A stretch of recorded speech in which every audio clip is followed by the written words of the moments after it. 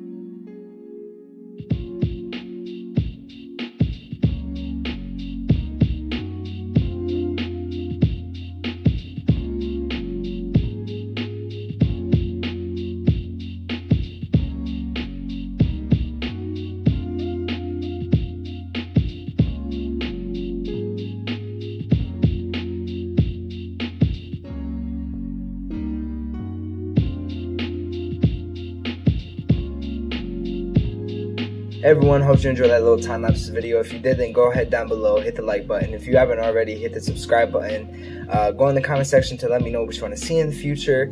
Uh, go hit the notification bar in order to get notified whenever i upload a new video. Go onto my instagram which is njv the underscore artist and i'll catch you guys later in the next one. Peace